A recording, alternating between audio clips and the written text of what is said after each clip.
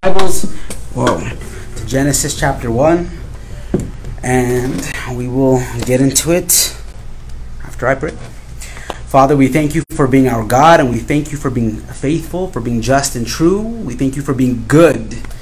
We ask, Father, that you would have your way with us, in us, and through us, that you would reveal to us who you are through your word, that your scriptures, Lord, would transform and change us, that as we hear the truth of what you have for us, that we would want to be more like you, Lord.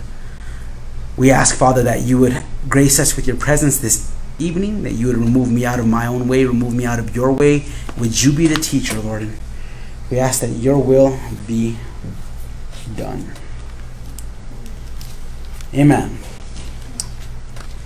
Bereshit bara Elohim et hashamayim ve'et ha'eretz. Bereshit ahat ahat. In the beginning, God created the heavens and the earth. Genesis 1 1. This is easily one of the most overlooked books in all of the Bible. When we think of Genesis, you know, most people don't think much of it. It's just like this kind of fairy tale telling of, of what God did, and it helps those who believe God to suffice their need for a creation. But for those who are sophisticated, for those who have been enlightened, for those who have entered into the era of the science, the science is, we look at this and we say, we can explain all these little things away. Well, in the beginning there was nothing, and nothing exploded, and everything came into being through that nothing. now, if if you have half a brain, you would know that nothing can't create nothing. Nothing can't create anything. Nothing is nothing. Nothing isn't something. Nothing is the absence of something. Nothing in and of itself is exactly what it is. It's nothing. Nothingness. If you look in my palm here, I hold nothing. Well, actually, that's not true. Technically, I, there's there's atoms and there's things here. True nothingness is nothing. There's, it's just non-existent. And non-existence can't bring existence into being because it decided it wanted to exist. Because for it to decide it wants to exist, there has to be something. When we look at Genesis chapter one, we come to the one one of the most again incredible portions of scripture because we see where everything starts. You heard me quote Genesis 1 in the Hebrew, and that word bereshit is what that's Genesis, and it means beginnings or origins. That's what it means. When we look at the first five books of Moses, it's called the Pentateuch. Penta, it's a Latin word. It means five. Penta, like a pentagram. So the Pentateuch, Genesis, Exodus, Leviticus, Numbers, and Deuteronomy, are five books that were penned by Moses. And that's accepted widely throughout Scripture. They'll often refer to it as the Law of Moses. When the law, the, the Law of Moses is mentioned, it's referring to one of these five books. And when we look at these five books, these five books are incredibly important because this is going to show us the beginnings of humanity, the beginnings of creation, humanity, marriage, sin, redemption, Israel, the patriarchs. We're going to see the beginnings of all these things. And this starts here in Genesis. These are these beginnings. Now, it's good for us to know these beginnings because this tells us who we are, what we come from, where we come from, and where we're going. When we look at Genesis, the book alone covers approximately 2,500 years, from chapter 1 to chapter 50. Now, 1,500 to 2,000 of those years are Genesis 1 through 11.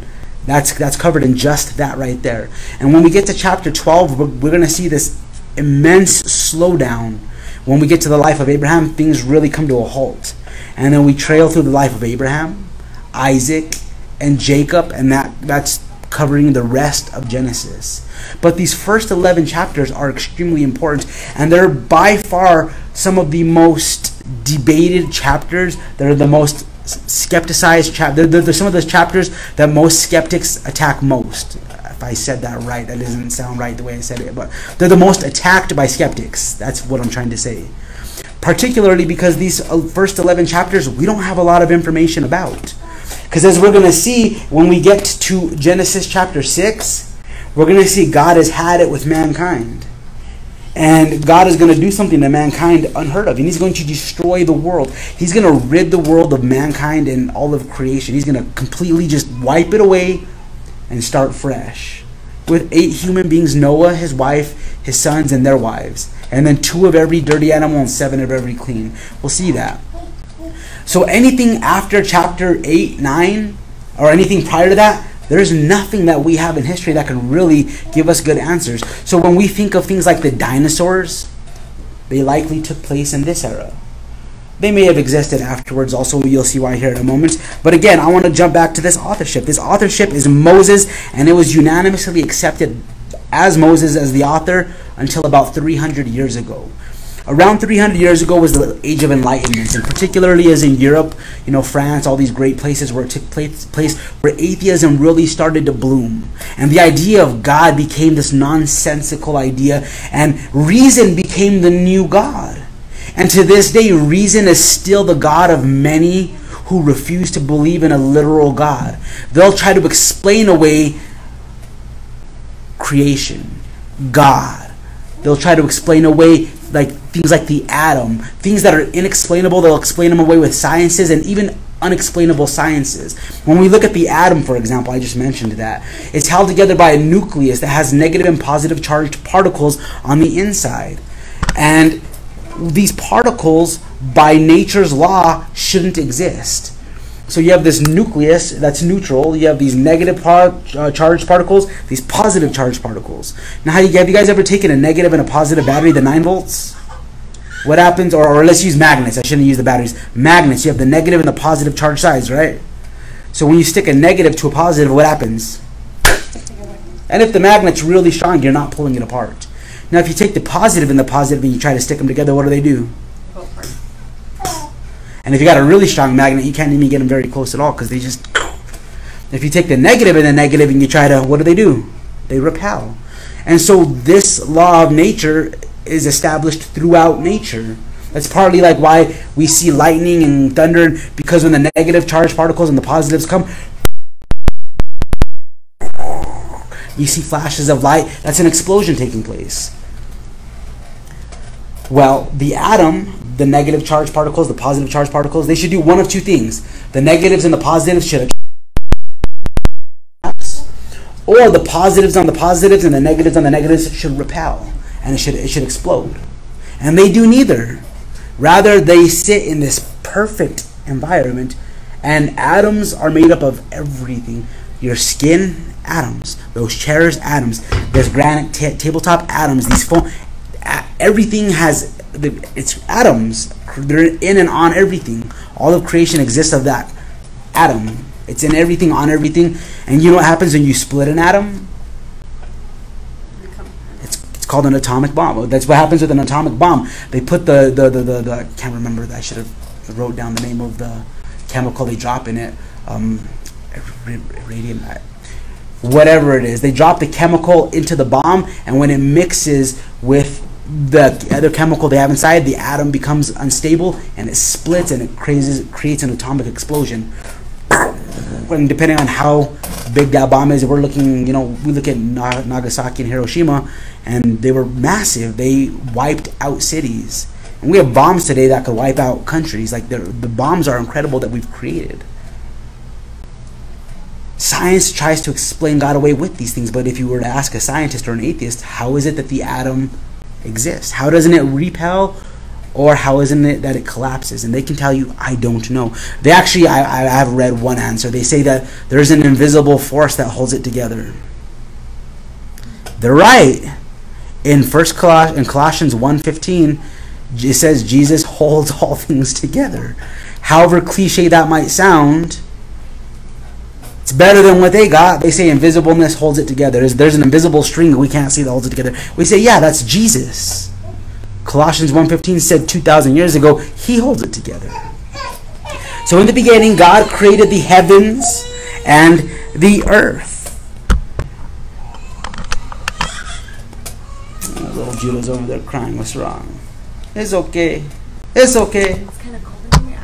You're cold? Are you guys all cold? And you're sitting right under the vent too. You can turn it up like one or two degrees. Not too much though, because I'm fat. I get hot fast. It's on that back side of the wall. You could put it like 72. Oh, okay. At the house. Put it like 70. It's on 70. It's on 70. Yeah. Okay, you could put it on 72. And the next time you're gonna have to bring a sweater, I know. because I'm fat. I get hot. but since the rise of the sciences and the, these arts, reason has become the new god of this age. And people want to reason away God. And do you want to know why people want to reason God away? And it's not because there's not evidence for God. The fact is, there is so much evidence for God, it's ridiculous. You would think that most scientists are atheists, right? But what I've come to conclude, I've found that most scientists are theists. And theist is a, it's a Greek word that means God. Theism is God, the belief in God. Most scientists aren't necessarily Christians, but they are theists. And they believe in a God because when a true scientist looks at the natural order of creation, it's impossible to come to the conclusion that it was accidental. Because everything is so perfect and so finely tuned that for this to be an accident, it would be akin to this. Imagine I said there is a place in Kentucky that you can go, and once a day, a tornado blows through their junkyard. And once a day, the tornado, we don't know what it's going to pick, but once a day, the tornado picks a car. And it assembles the car as it blows through, and it gets all the right parts, all the right serial numbers. It gets brand new paint slapped on, a brand new upholstery. The engine works perfectly, and it spits it out, and, and it lands. One day it's a Ferrari, the next day it's a BMW. One of, one of the days i- i- it's an Escalade. Another day we got a Bentley and a Rolls Royce. One day it's a Honda. We never know what's what, what the tornado is gonna pick. Just every day it blows through and it just picks up a bunch of junk cars and it spits out a brand new shiny car with zero miles, full tank of gas, fresh oil and all. And it works perfectly. And every part it coincides. Every single serial number matches on the whole car.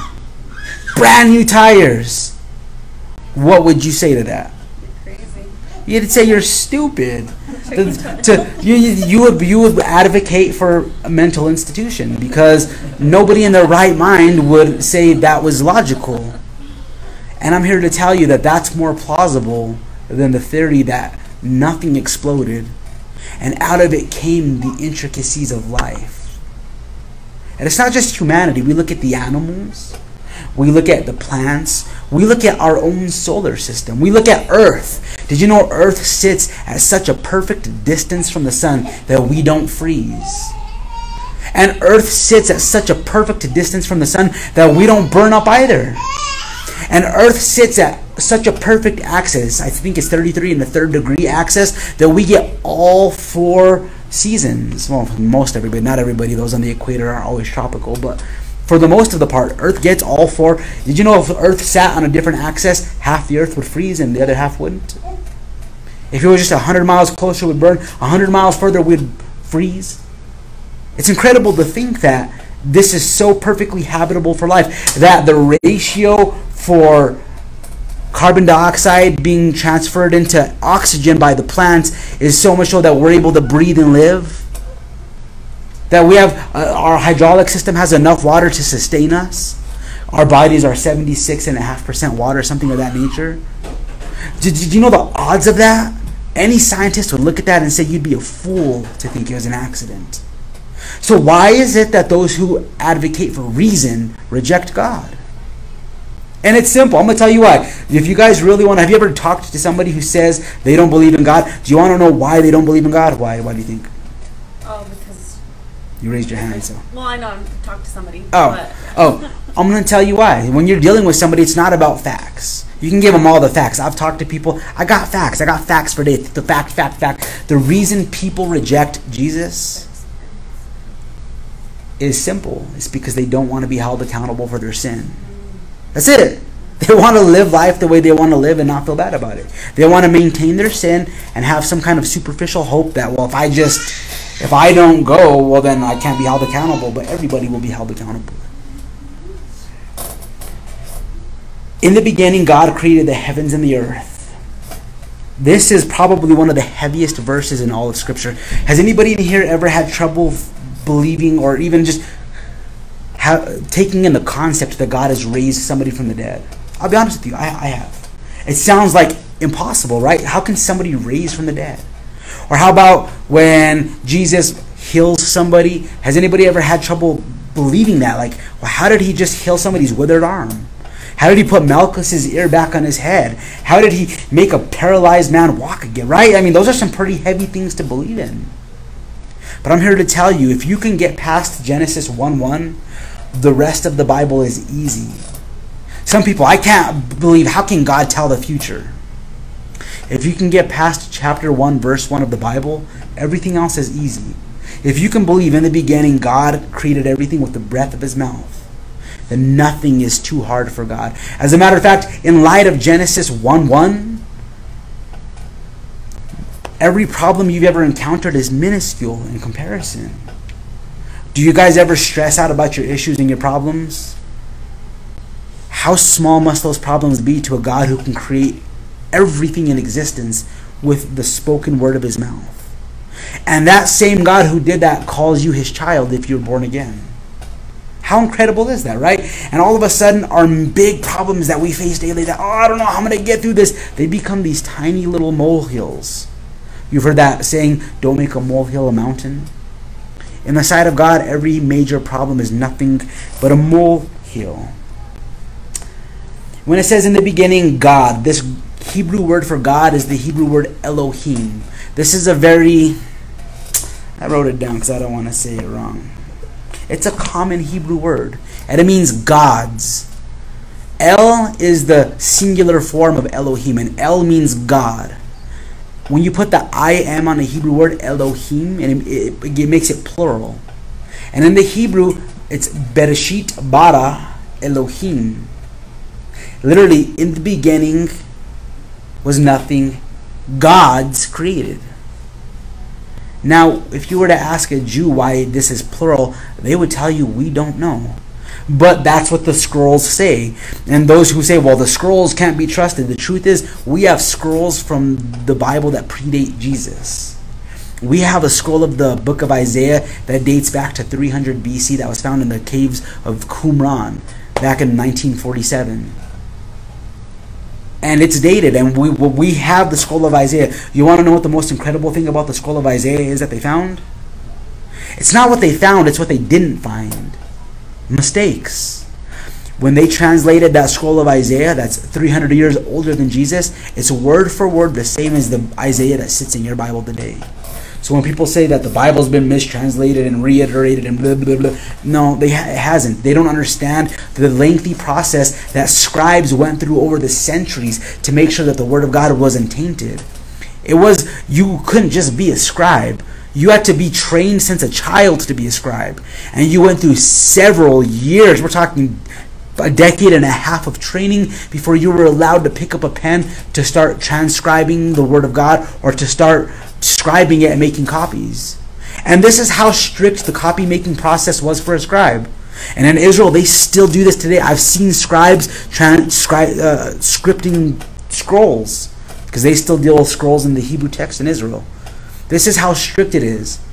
If you put one dot out of place, they take the scroll, they rip it up, they burn it, and you have to start over.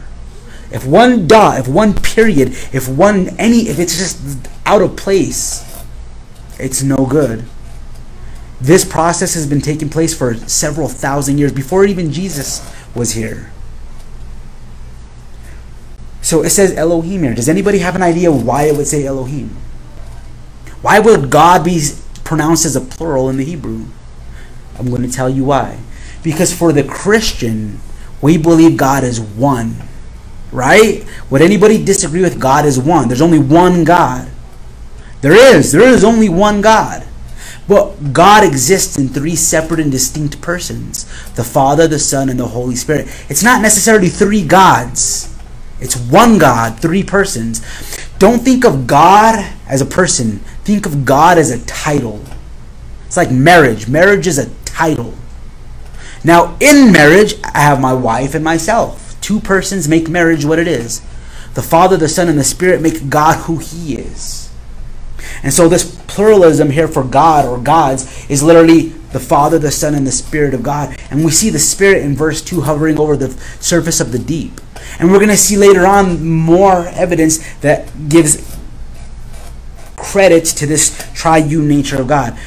The Trinity is something that we don't budge on as Christians. There are those out there who, call, who are called Unitarianists. Uni meaning one. Tarian, Unitarian, they believe God is one and only one. There is no Father, Son. They believe Jesus is the Father, the Spirit's Father, the Father is the Father. It's just the Father showing up in different forms. They don't believe God exists in three persons. And I have a major problem with that because in John chapter 17, verse 5, Jesus speaking to the Father says, Glorify me again with you so that I can be glorified with the position that I had before the world was. Jesus talks to the Holy Spirit as a separate, distinct person. He talks to the Father as a separate, distinct person. He refers to himself as a separate, distinct person. Therefore, we can conclude that the Father, the Son, and the Spirit are separate and distinct persons. Now, this is the phraseology that I would encourage you learn when it comes to the Trinity. Within the nature of the one true God exist set three separate and distinct persons the Father, the Son, and the Holy Spirit. That is the best definition you'll ever hear of the Trinity. And the Bible substantiates the Trinity in and through, and it's solid and clear cut. The word of Trinity might not be used in the Bible, but the word Bible isn't used in the Bible either. The word Jesus isn't in the Bible either. It's actually the Hebrew name Yeshua, or the Greek name Jesus.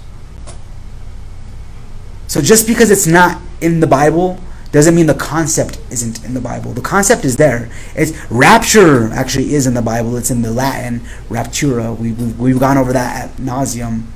But it's not in the English Bible. So just because it doesn't show up the way we want it to, doesn't make it any less truth. Now, when it says here, in the beginning, this is an extremely heavy phrase because when we talk about the beginning, we have to now presuppose something predates the beginning. And something does predate the beginning. It's God. When God brought everything into being, this is called the continuum. It's actually called the space time continuum. It's where space, time, and matter come into being. And what we have concluded through science is that space, time, and matter consist simultaneously. They don't they don't exist separate from each other. As far as science knows, there is no point in time ever where time, space, or matter didn't exist together. And it's called the continuum. It continues, always will, always will be this, always was, and always will be is what I meant to say. It's called the continuum. And that's a very important thing to, to, to, take a stance on. Now, listen to what this evolutionary philosopher Herbert Spencer says. He was one of Darwin's earliest and most enthusiastic advocates. He outlined five ultimate scientific ideas, five manifestations of natural phenomenon that are necessary for existence time, force, action, space, and matter. Now, he was an atheist. He was an advocate of evolutionism. But he says, even in the sciences, they agree that these five manifestations must be evident and present for this world to exist as is. Let's see. I'm going to just quote Albert Einstein's teacher, Hermann Minkowski. He says this Space by itself and time by itself are doomed to fade away into mere shadows, and only a kind of union of the two will, pres- will preserve an independent reality. Again, stating that they cannot exist separately, but they must coexist and always exist together. I keep dropping things down. With these five manifestations, we see time, force, action, space, and matter. Listen to Genesis 1 again. In the beginning, God created the heavens and the earth. Again, in the beginning, that's a timestamp. God, that's a force. Created, that's an action.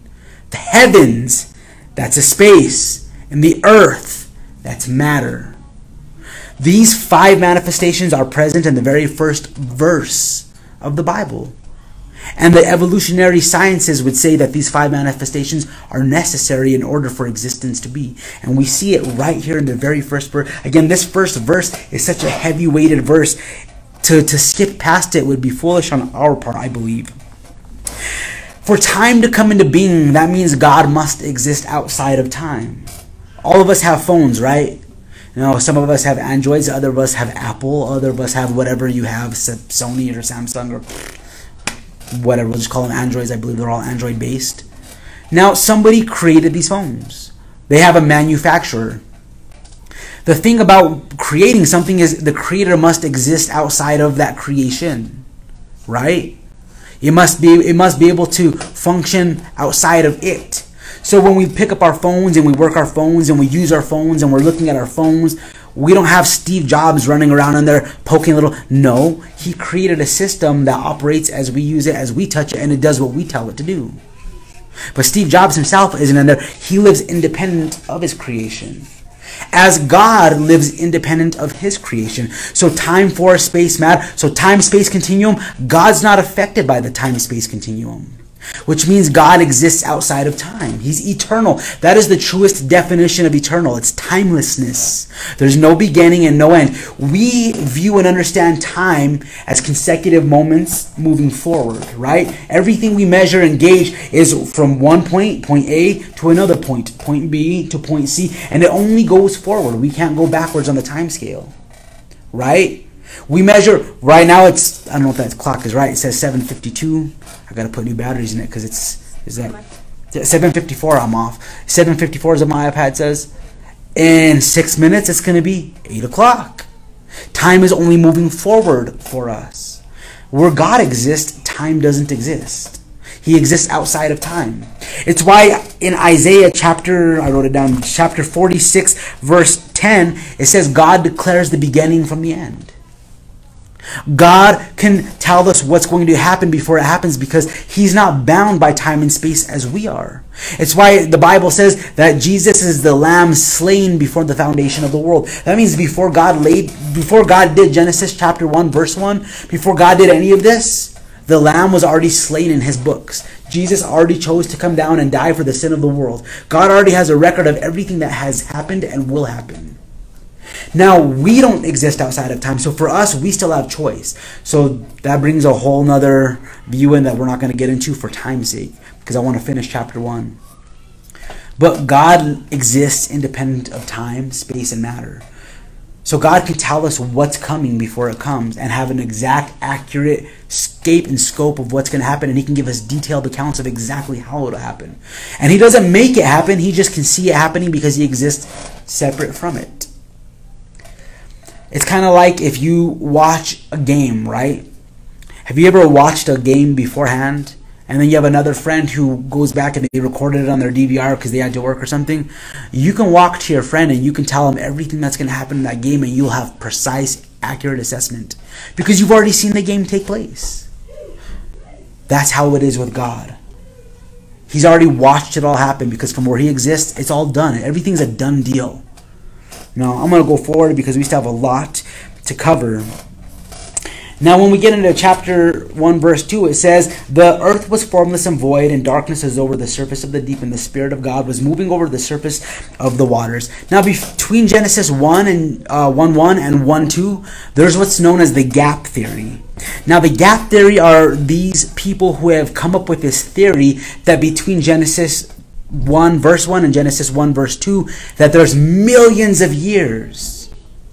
And they say between verse 1 and verse 2 a cataclysmic event took place. It's when the angels rebelled. Now this is I don't believe this is true at all. Realize that. They believe this is where the angels fell. This is how the earth became formless and void. And they'll substantiate it because they'll take a verse out of Isaiah. They'll take it out of Isaiah. I hope I wrote it down. I believe it did. Isaiah 45, 18. And Isaiah writes, God did not create the world to be a waste place.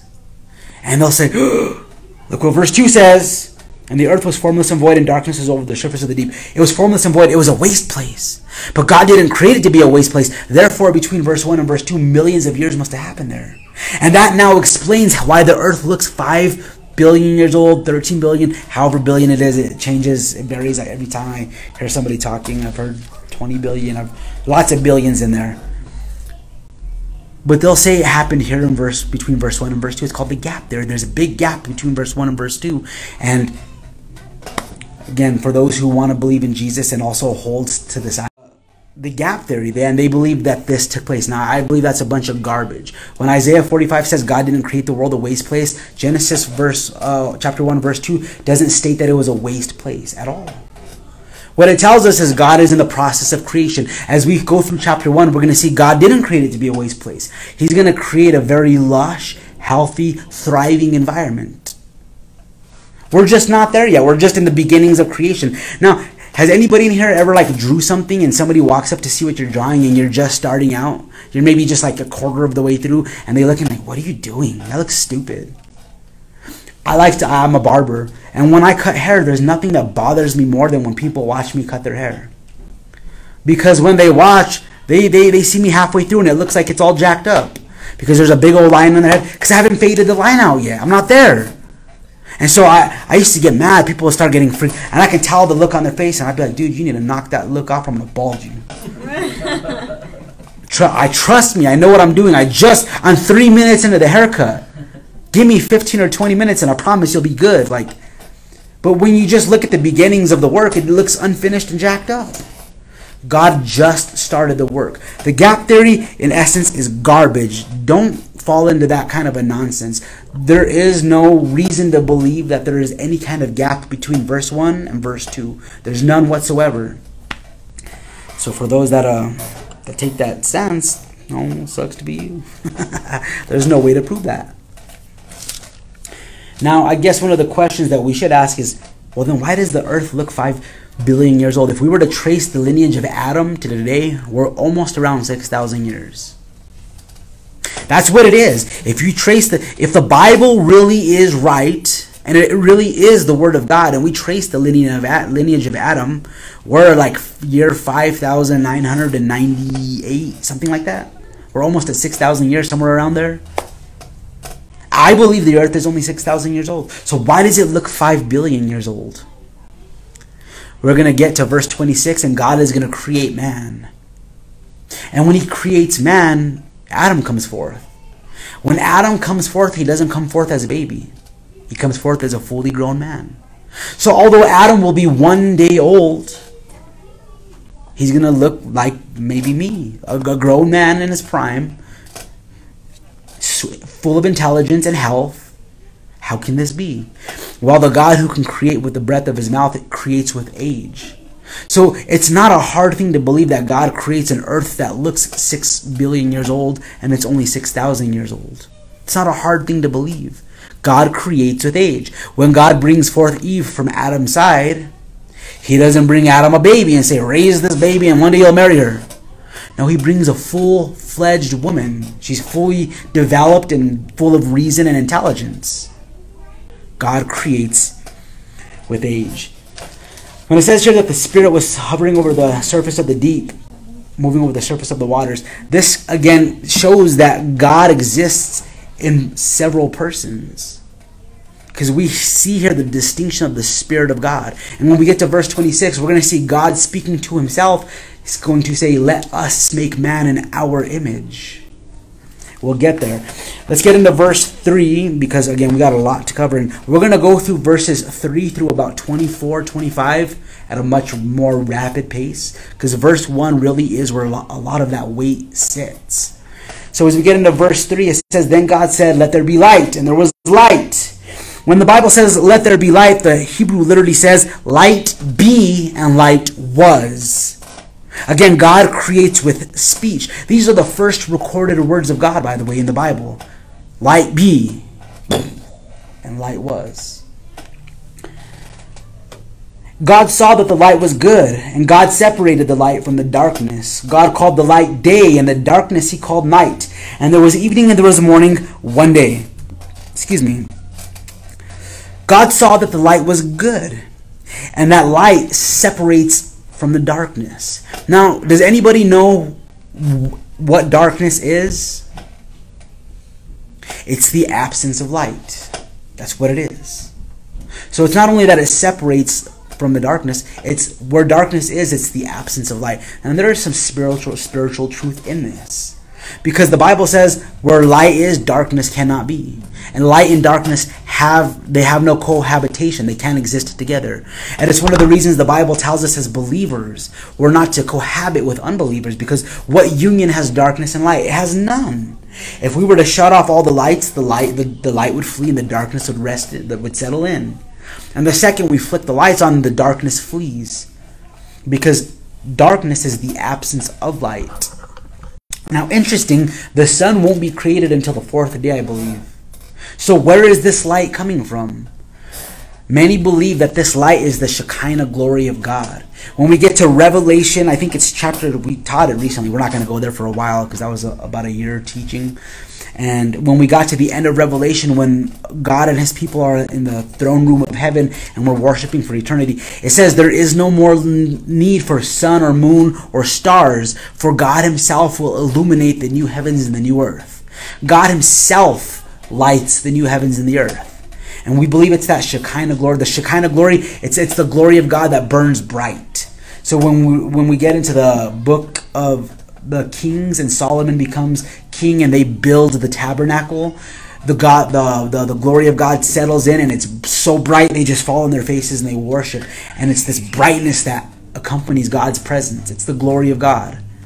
Now we believe that's what this light is because there is no other light in existence at this point. The sun isn't there yet. The moon, stars, nothing's there yet.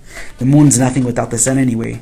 But then it says evening and morning are one day. Now again, there are those who like to reason away the word of God because, you know, the earth has got to be billions of years old. So what they, they'll say is, well, the truth is with each day that God created, it was actually thousands of years. It wasn't an actual day. It was more like thousands of years because sometimes a day can mean a thousand years, right? The day of the Lord is like a thousand year period. It's this thousand year reigning of Christ as Messiah from Jerusalem. It's, we call it the millennial reign.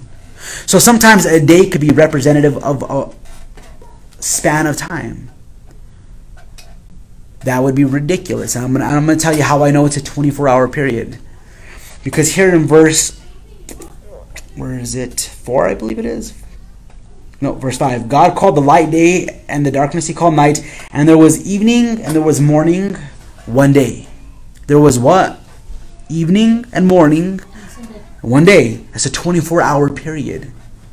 And this is why the Jews celebrate their days evening and the morning, evening and the morning. So when the evening comes in, their new day starts. So right now for the Jew, this wouldn't be Wednesday anymore. It'd now be Thursday. It'd be Thursday, Thursday night, Thursday night. And then tomorrow would be Thursday for them. And then when the sun sets, it would be Friday night. And then Friday. And then when the sun sets, Saturday night. And then Saturday. And that's why they do it because of Genesis chapter 1, verse 5 here.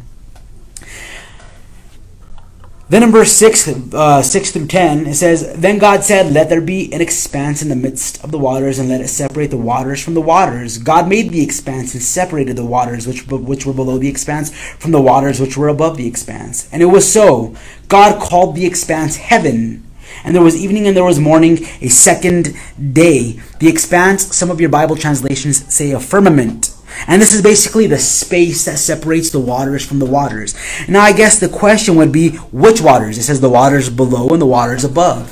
The waters below, this is what we call the rivers and the seas and the lakes and the things like that. And then it mentions these waters above. Now, there are many who believe, and I'm one of them, that there used to be an ice dome that encapsulated the earth. And that this ice dome was what was there prior to Noah's flood. Because in the Bible it says the waters came from above and from below. And many believe that this ice dome melted away, and that's where the waters came from above. And water shot forth from underneath the earth. And we'll see that when we get to chapter 6, 7, when we see the flood of Noah's day and so forth. But if this were so, if there were this ice dome that encapsulated the earth, something interesting would happen. Now all those harmful UVs that make our wrinkly skin, you know how you girls are always buying makeup to get rid of the wrinkles. You buy those special makeup so you don't have bags under your eyes because you want to look pretty for your man, right? And you know why you your face wrinkles up the way it does and why our skin turns leathery and nasty? It's because of the harmful UV of the sun. That's why your lotions have UV protection, and we put the UV, uh, the, the suntan lotion on to protect our skin because those UVs are really harmful to our skin, and they age us and they actually kill us quicker. That's why people get all up in arms about our atmosphere, the ozone layer. Remember when I was a kid, the ozone layer was like the detriment of life. Yeah, you don't cow farts and spray paints and blah blah blah. Now it's the, the, the global warming, which again is part of that that ozone layer burning away. Well, if this ice capsule encapsulated the Earth, those harmful UVs wouldn't come through. We'd get nothing but pure sunlight through that. Yes, the sunlight would still go through. It's kind of like a magnifying glass, or you know, you can take ice and the light can still come through. And it would actually make an environment of the earth that'd be very tropical worldwide. The pressure would be about double what it is now, and oxygen rests at about 21%. They believe oxygen would have been about double, maybe more than double, up to 50% of that. Now, what does that mean? Dr. Kimori, a Japanese scientist, I didn't mention his college, you can look him up yourself. He created what's known as a hyperbaric chamber. And he planted a cherry tomato plant in this hyperbaric chamber to do a test. And what he did is this hyperbaric chamber, it was pressurized and the oxygen saturation was double that of what we breathe. Now, the typical cherry tomato plant, I believe, lives for about six months and then it'll die off. And it'll produce a number of little cherry tomatoes and it's cool. Well, he put one in this hyperbaric chamber and he put this these special plastics that blocked out the UVs and allowed nothing but natural pure sunlight to come through. And within six months, this plant grew to be 15 feet tall. Within, I believe, the year, it grew over three stories, over 30 feet tall. Lasted more than two years and put out more than 13,000 cherry tomatoes, which they said were the size of baseballs because of the pressurization and the oxygen saturation. I didn't get all the stats, but I, I was listening to this this professor speak about this young girl who had had something traumatic happen to her leg. She fell into something, and her leg turned black from lack of blood flow. And they were the, one of the doctors was going to cut off her leg. Like I should have verified this, but I didn't. I was just super busy this whole week. And as this doctor was getting ready to prepare the family to say we have to amputate this little girl's leg, it was black, by the way, from lack of blood flow and oxygen. Remember, our blood brings oxygen to our body, which keeps it alive. Oxygen is necessary throughout our body. Well, one of the doctors said, let's try something before we just chop this little girl's leg off. Let's put her in one of these hyperbaric chambers. Let's basically pump up the H2O saturation and let's see what it does. And they said within six hours, her leg turned pink. And after I think it was like 24 hours, the only thing that wouldn't turn back was half of her little pinky toe, and they ended up having to amputate that. But basically brought her leg back. I say that because when we read Genesis, one of the reasons people have such a hard time believing it is because we see people living like 900 years. And it's like, wow, that's impossible. But is it? I was listening listening to the same professor speak. His name's Kent Hovind and he was saying that they've found air bubbles in tree sap. Like you know they find mosquitoes and things. And they say that when they've pulled some of that air out they found that the oxygen saturation was double that of what we breathe today. And the result of that would be people would live much longer. They'd be healthier more intelligent. Because the more oxygen you get to the brain the better it functions. The stronger you become the longer you live the healthier you'll become you'll be it doesn't blow my it doesn't actually shock me to think that because when we get to the millennial reign when jesus reigns and rules for a thousand years in jerusalem isaiah talks about that time period and i think it's like chapter 65 and he says and don't quote me on the chapter but it's in isaiah for sure it's in the last six chapters of isaiah. He says those who die at 100 in that time period will be considered as infants. Infants well, I guess if you live to be 900 years, if you die at 100, you would be considered like an infant, right? And so we believe that because of this waters above, the high pressure of the earth and the rich saturation of the, of the O2,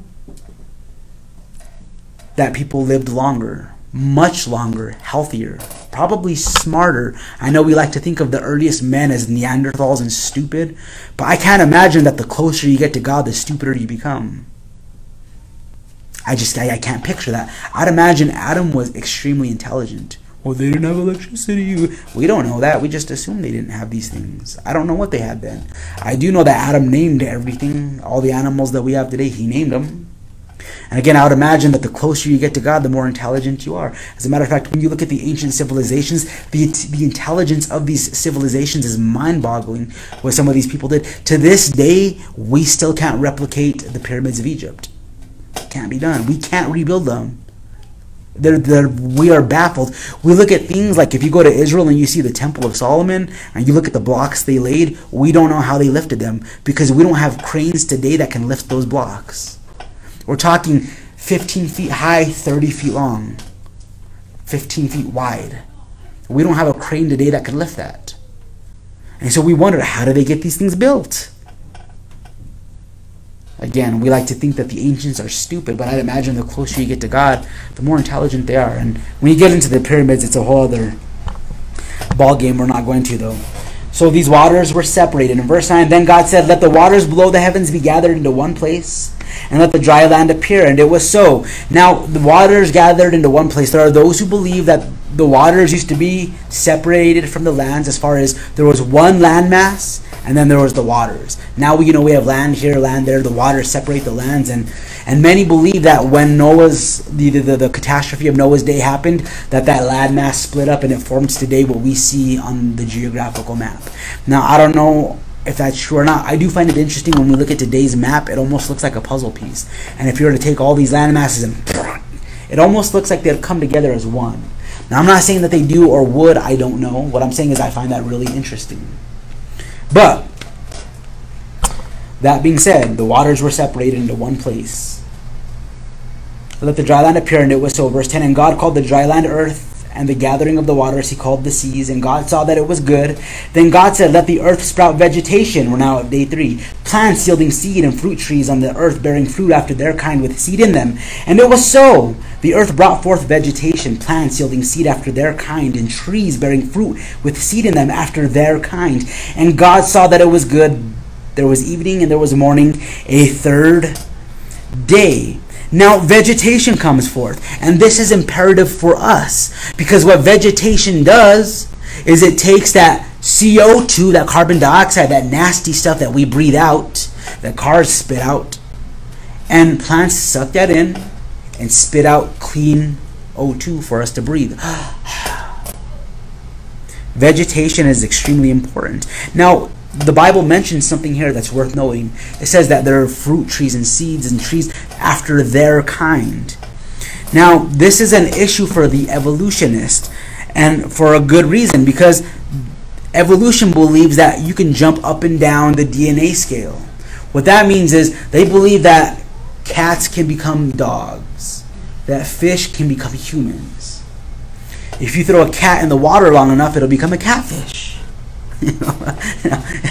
that's essentially what they believe. Now they probably would never say that, but that that's evolutionism, right? They're gonna change according to what they're where they're at. They, they, they'll have the ability to even jump species. But the truth is that's impossible because that cat would long drown before it ever had a chance to mutate. Even the primordial soup that was struck, how didn't it get stepped on before it transformed into us? And then how did it split apart to make millions of us? It's impossible. There's no jumping up and down the DNA scale. In the 1880s, a man by the name of Judge James Harvey Logan crossbred a blackberry with a red raspberry and created what's known as a Loganberry. And the scientific community went crazy. Evolution! We finally were able to prove it. We crossbred two berries and made a new berry. Evolution at its finest. And so those who believe in God looked at that and said, Wow, you're foolish. It's still a berry, it's still part of the berry family. It's like if you took a terrier and you took, I don't know what pit bulls are made of, I know it's terrier, but if you took one of the dogs that make a pit bull and one of the dogs that's a terrier and you bred them and it makes now what we call a pit bull, it's not like it's it didn't become a cat or a moose. It's still a dog. It's still part of the canine family. That DNA still is intact for canine. If you draw its blood, it's still a dog. Lions and tigers. I, I, I, was arguing with an atheist once, and he said that there's ev- there's evidence for evolution, and he said a lion and a tiger bred, and became, a liger came out. Evolution. I said it's still a feline. Now, if the lion and tiger bred and a wolf popped out, we could have a conversation. You know, you got my attention there. You throw a human in the water long enough, if it sprouts gills, we can talk. But it'll never happen because we can't jump up and down the DNA scale. We can come across, we can adapt, but we can't mutate to become something different. We are what our DNA says we are, and that's it. A cat will always be a cat, a dog will always be a dog. This day, we're even trying to jump within our species. Men are trying to become women, and women are trying to become men. And even then, that's impossible. I mean, to truly become a, for a man to become a woman, you'd have to take his soul out of his body and stick it in the body of a woman. That's the only way it ever. No matter what he does, no matter how many surgeries he has, his chromosomes will always read XY. So what it, it will always read XY, no matter what. That's male chromosomes. His bone structure will always have the density of a male. His diaphragm, his muscular structure, it's always going to read as a male because he is biologically a male. The only way for a man to truly become a woman is again, you got to remove the soul and stick it in a female's body. Then he would legitimately be a woman.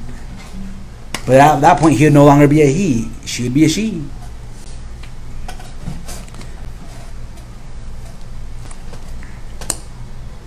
Now, some people get a little weirded out when I say this, but I personally believe in evolution. And let me explain what I mean when I say that. I don't believe in macro evolution. Macro evolution is when you jump up and down the DNA scale. I believe, or that micro evolution is that. I believe in macro evolution. So micro is cats can become dogs, fish can become humans. Macro evolution is better pronounced adaptation. And the way I best describe this is when somebody moves here from California, it's harder for them to breathe because our we live we rest at a higher altitude, which means the air is denser. And when somebody moves here from California, they get winded a little a little faster. But the longer they stay in New Mexico, their body adapts to the dense air pressure. And for you know, they're just like us and they move and their their lungs have adapted to this. They adapt. If somebody moves to a region that's hotter, their skin might maintain a darker color year round because their body is going to adapt to where they're at. But they will never jump up and down the DNA scale. A can of soup will never become human. That's what they believe. Primordial soup or ooze was struck by lightning and humanity popped out. You know, I find that funny. Molecular biologist Michael Denton says this As it was in Darwin's day, evolution is still a highly speculative hypothesis, entirely without direct factual support. There is zero evidence to support it. In verse 14, it says, Then God said, Let there be lights in the expanse of the heavens to separate the day from the night, and let them be for signs and for seasons and for days and years, and let them be for lights in the expanse of the heavens to give light on the earth. And it was so. God made the two great lights, the greater the greater light to govern the day, the lesser light to govern the night. He made the stars also. God placed them in the expanse of the heavens to give light on the earth, and to govern the day and the night, and to separate the night the light from the darkness. And God saw that it was good. There was evening and there was morning, a fourth day. God gave two lights, one to separate the day from the night. The stars and the moon for the night, and the our star for the day, the sun, and it's really just the same, but it's making a distinction. And this what gives in to that 24 hour period. Now again, the fact that the sun is created on the fourth day begs the question well, where was the light coming from prior? Again, the glory of God is what we believe did that. Now, the lights weren't just given for us to see, they were given for signs and for seasons. It says the stars and the moons were given for signs and for seasons. The Jewish calendar still operates on the lunar calendar. They celebrate their feasts and their things according to the lights of the stars and the moon and so forth. So, Passover will always fall on a full moon. Always, it always will. And that's what it says. Verse 20 says, Then God said, Let the waters teem with swarms of living creatures, and let the birds fly above the earth in op- the open expanse of the heavens. God created the great sea monsters and every living creature that moves, with which the waters swarmed after their kind, and every winged bird after its kind. And God saw that it was good. And God blessed them, saying, Be fruitful and multiply, fill the waters and the seas, and let the birds multiply on the earth. There was evening and there was morning, a fifth day. Now God brings forth actual life, the creatures of the sea. And he says of these creatures of the sea, they are to reproduce after their kind. And to this day, creatures can only reproduce after their kind. A woman cannot get pregnant from an animal. An animal cannot get pregnant from a human. It's impossible. It would never support. It's not habitable for that. The DNA structure would never take and suffice. Things can only reproduce after how God created them to reproduce, and it's after their kind. And that's one of those big things you want to stick to whenever you're dealing with somebody that is heavily influenced by evolution. Because no matter how far they try to take it, is it'll only reproduce after its kind. Now, when you're looking at I'm not gonna go. That was gonna go somewhere, but I'm not going to. We're almost done, you guys. I think we started at 7:30, so I got eight minutes. Verse 24. Then God said, "Let the earth bring forth living creatures after their kind, cattle and creeping things, and beasts of the earth after their kind." And it was so. God made the beasts of the earth after their kind, and the cattle after their kind, and everything that creeps on the ground after its kind. God saw that it was good. Now, this sixth day, God created all the beasts of the field. This would include dinosaurs. I often come across Christians that don't believe in dinosaurs because the Bible doesn't mention dinosaurs. I believe in dinosaurs. That's not a trick, anything. I believe in them, and I'm going to tell you why I believe in dinosaurs. Because we have fossils of dinosaurs. I mean, period. What's a trick from the enemy, brother? No, it's not a trick from the enemy. The dinosaurs existed. Well, why doesn't the Bible talk about dinosaurs? Because dinosaurs is a term that was created in the in the 1840s. It's only a little less than 200 years old. The term. What was it called prior to that? Beasts. Notice in Creation Day, God doesn't talk about lions or rhino. I don't. I don't think rhino is mentioned in the Bible, is it? I don't think. Uh, I don't think moles are mentioned in the Bible. I've never heard of a chipmunk in the Bible. you know, so do chipmunks not exist? Because I saw one the other day. I saw one yesterday when I was walking. Just because the Bible doesn't specify it and its terminology doesn't mean it, it didn't exist. They existed because we have fossil records of them. We know they existed. And they're not millions of years old. Dinosaurs are relatively young, within 6,000 years. There's a find of of, of, a massive graveyard of dinosaur bones in Glen Rose, Texas, at the Paluxy River, and the science community was raving and ranting about it because it was so exciting. We can't believe we found these fossils, and that's how it is whenever they find new fossils. And as they were continuing to excavate and dig into it, they found something that stumped them. They found another fossil that dated back to as old as those dinosaur bones, and they were human footprints. Now, they didn't want to talk about it much after that because that kind of puts a, a damper on the whole idea that these dinosaur fossils are millions of years old. Because they like to believe that the Cretaceous period was millions of years before the advent of man. But the truth is, man and beast have coexisted since day six of creation. Well, where are the dinosaurs? Many believe that the dinosaurs were killed off by a massive meteor, which maybe. There's no way to prove that. We have the creator. We know you don't know anything because you weren't there. We do know that there was rich saturation of oxygen in the early days of humanity, in the early first couple thousand years until Noah's flood came, and that we we believe that ice dome mount, melted.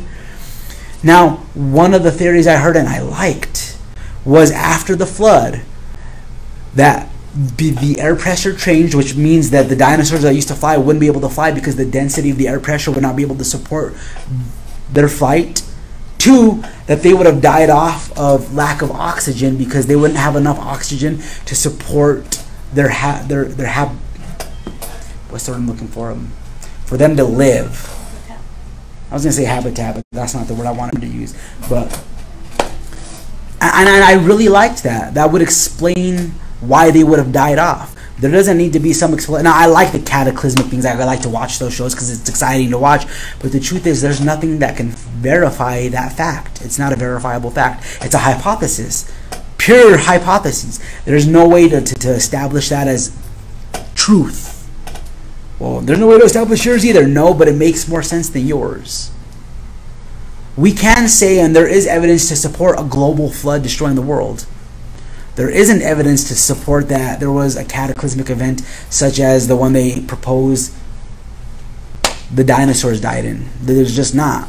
There's a crater in the earth. That doesn't mean anything. That means nothing at all.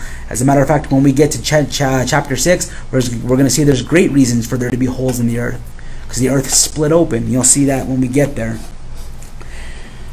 But this sixth day, this is when man was also created. In verse 26, it says, Then God said, Let us make man in our image according to our likeness, and let them rule over the fish of the sea, and over the birds of the sky, and over the cattle, and over all the earth, and over every creeping thing that creeps on the earth. Now, when God said, Let us, there are those who propose, He was talking to the angels. And He said, Let us make man in our image, except God would never put an angel on par with Himself, ever. As a matter of fact, whenever humanity in the scriptures worships an angel, the angel has a message for that man. The message is don't do that. I'm not God, I'm a servant like you. Get off your knees. Because oftentimes in angels appear in scripture, men in their stupidity fall down to worship the angel because, well, they're angels. And the angel will always discourage that and say, don't do that. So when God says, let us make, angels don't have creative powers either. God does, though. So who is the us God is referring to? Again, this is a massive, massive reference to the triune nature of God. Tri meaning three, un meaning one, the three in one, the triune nature of God. Verse 27 God created man in his own image, and in the image of God he created him. Male and female he created them. God blessed them, and God said to them, Be fruitful and multiply, and fill the earth, and subdue it, and rule over the fish of the sea, and over the birds of the sky, and over every living thing that moves on the earth. God said, Let us make man in our image, and he did. What is it to be made in the image of God? Does that mean that God's face looks like this? No, because the Bible says God is a spirit, and he doesn't have a face. The image that the Bible speaks of, this likeness, it's in consciousness, in morality, it's in free will, and I believe, and I never said this before until I was studying this last week, and I believe in creative capabilities. The angels don't even have creative capabilities. We do. We can reproduce. The angels, I mean, we're going to see that the angels reproduced with humanity. But I don't believe the angels can reproduce with one another. We can create things and the angels can't. But more so, we have a consciousness. We have the ability to worship. Unlike every other created thing that God has created, they just live and they are. Like we all have dogs and cats, right? Has anybody ever come home to Scooby Doo worshiping God? With their hands raised in there. What are you doing, Scoob? I'm worshiping Jesus. Dogs just, they're alive. They have intelligence, but they don't have the ability to reason within themselves. They're dogs. As a matter of fact, if you put a piece of meat before a dog, all reason goes out the window.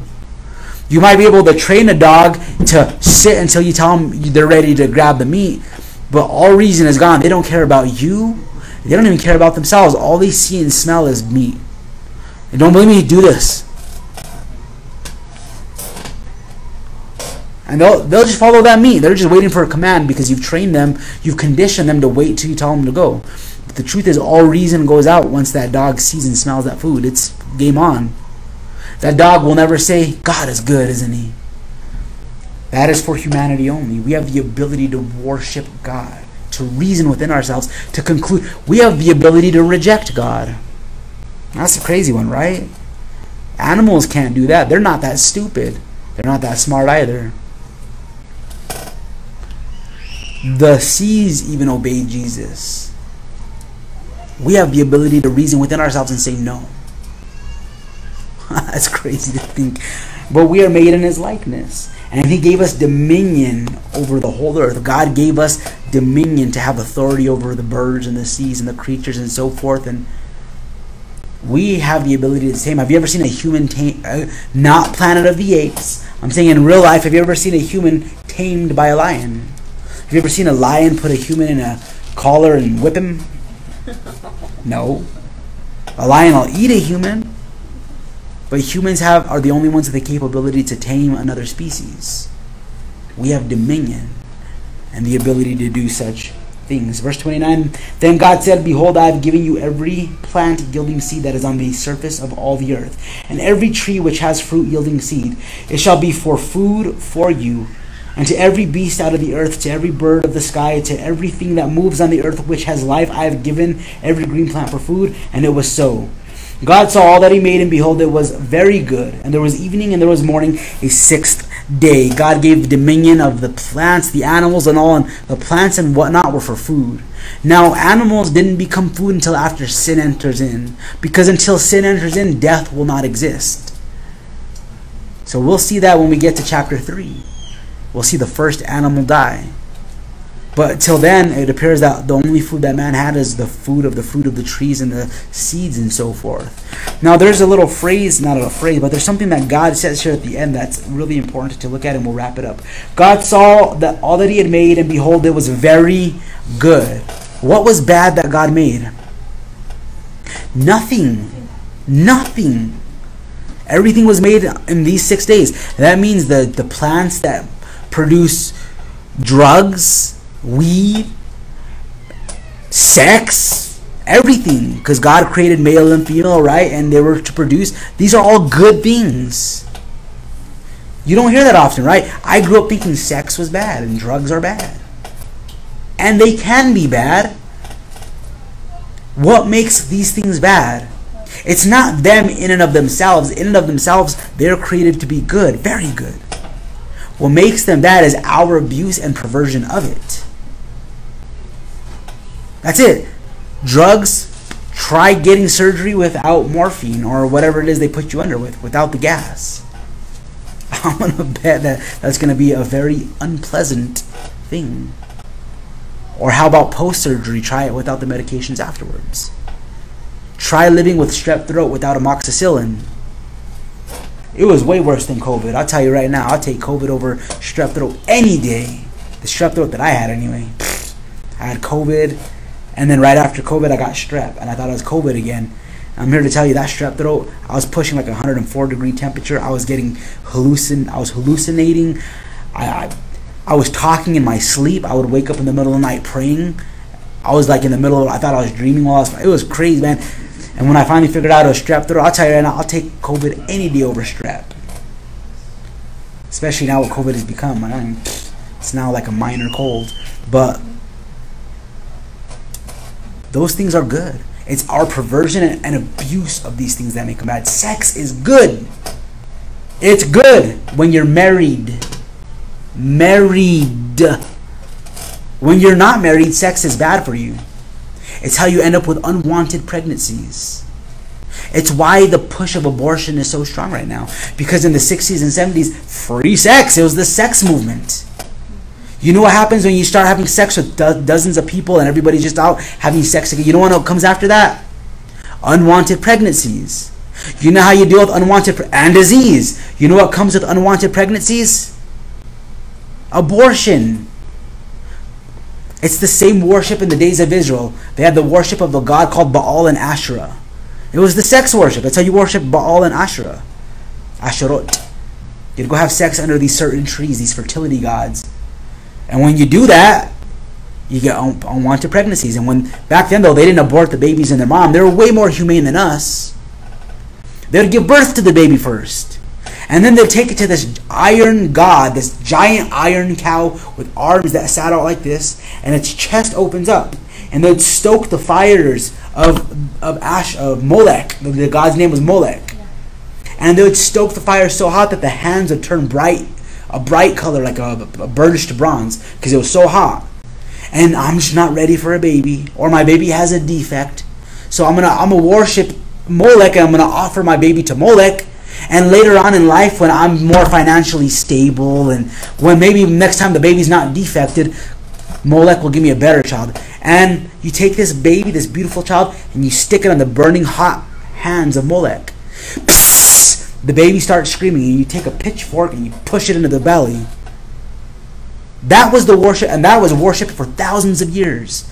We're way too humane for that. So we take these implements and we stick them inside the mother's vagina and we rip the baby up in her in her womb and we pull the baby out piece by piece in there. We're way more humane than them, right? I'm here to tell you abortion is disgusting. If you've ever had an abortion, God will forgive you. But I'm here to tell you it is murder. And it is still Molech worship. It's the it's the it's the worship of I'm not ready. I'm not financially stable. My baby has a defect and the doctor said if we don't abort the baby then Tim Tebow was supposed to be aborted because there was a defect in him, and the doctor said, You'll never live. If you give birth to him, you're going to die, and he'll never live for sure. And if he lives, he's going to be mentally retarded with all kinds of stuff. And Tim Tebow was a famous millionaire football player, announcer now, and a born again believer and advocate against abortion.